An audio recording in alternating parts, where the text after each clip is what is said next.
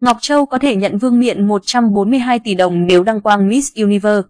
Đến với Miss Universe 2022, đại diện Việt Nam, Nguyễn Thị Ngọc Châu có cơ hội đăng quang, nhận vương miện gần 6 triệu USD, hơn 170 tỷ đồng. Ngày 20 tháng 12, đương kim Miss Universe Việt Nam, Hoa hậu Hoàn vũ Việt Nam 2022 Ngọc Châu nhận sát giải băng đeo. Tên Việt Nam chính thức nhận quyền đại diện Việt Nam tham gia Miss Universe lần thứ 71 diễn ra vào tháng 1 năm 2023 tại Mỹ. Đến với đấu trường quốc tế, Ngọc Châu tự tin chia sẻ, sau quá trình huấn luyện khắc nghiệt, trang bị các kỹ năng đặc biệt, tôi cảm thấy tự tin, sẽ nỗ lực hết mình với mục tiêu xác lập thành tích cao hơn. Trước áp lực cạnh tranh khốc liệt, tôi chọn cách giữ ổn định năng lượng, duy trì phong độ, tiến về phía trước, thể hiện trọn vẹn tốt nhất giá trị bản thân. Trước đó, cô được công ty quản lý lên kế hoạch huấn luyện và đào tạo ngay sau khi đăng quang.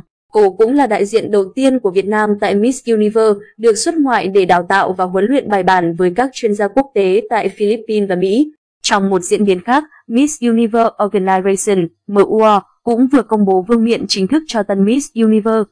Đây cũng là chiếc vương miện đầu tiên đánh dấu triều đại của bà chủ mới người Thái Lan, Anjarajutatip.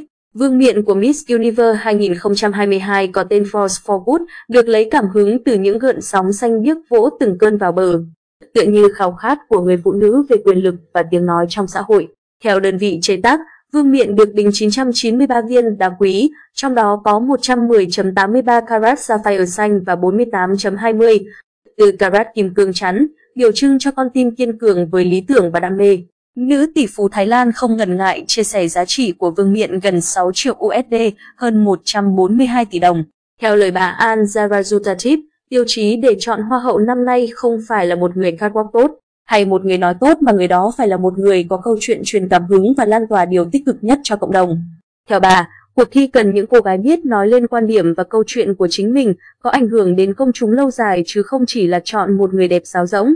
Ngoài ra, cuộc thi Hoa hậu Hoàn Vũ năm nay sẽ được tổ chức hoàn toàn khác so với những năm trước đây. Chung kết Miss Universe lần thứ 71 sẽ được tổ chức vào ngày 14 tháng 1 năm 2023 tại New Orleans, bang Louisiana, Mỹ.